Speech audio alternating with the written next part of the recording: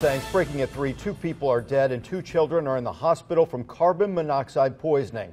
A family of five lost power and then made the fatal mistake of hooking up a generator inside their house.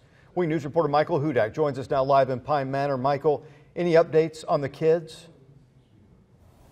We know that they were unconscious when they were found and had to be rushed to a local hospital, but according to the people here at South Trail Fire, Russ, they are alive and that's what matters. And so was a third person who had to be rescued from that house. But that's about all we know right now. Saturday night, a series of storms knocked out power to parts of Lee County, including along Fifth Avenue in Pine Manor. South Trail Fire said when the power went out at this family's home on 5425 Fifth Avenue, they powered up their generator. And that's the generator that you see on your screen right now. But instead of leaving it 20 feet from their home like you're supposed to, they brought the generator inside the house and left it running running in the family living room when they went to sleep. There were five patients inside of a home.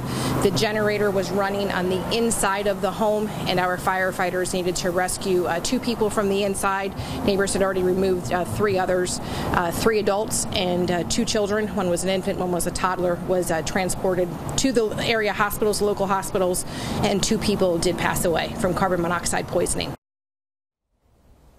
I mean, it's just awful. You might think, oh, leaving a generator away from the home by at least 20 feet and not bringing it inside your home, that's common sense. But South Trail Fire told me common sense might not be all that common to people moving here from other countries or someone that hasn't owned a home before or used a generator before. So I am going to lay out everything you need to know to prevent tragedies like this from happening to your family on Wink News at 5 o'clock. For now, reporting in Lee County, Michael Hudak, Wink News.